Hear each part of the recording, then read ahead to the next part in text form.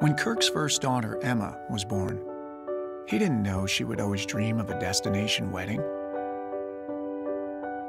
Or that she'd spend a semester in Barcelona that she'd call school.